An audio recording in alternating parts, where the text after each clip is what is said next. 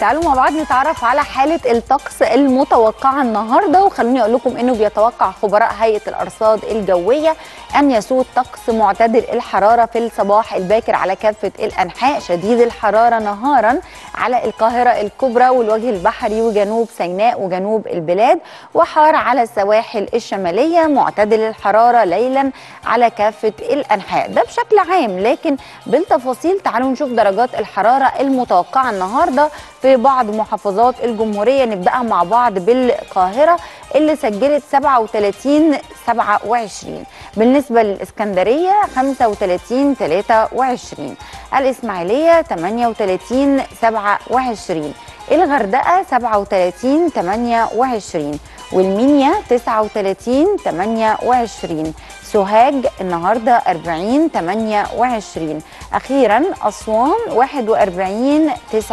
29 دي بعض درجات الحرارة المتوقعة النهارده. تعالوا كمان نشوف درجات الحرارة المتوقعة في بعض العواصم العالمية والعربية.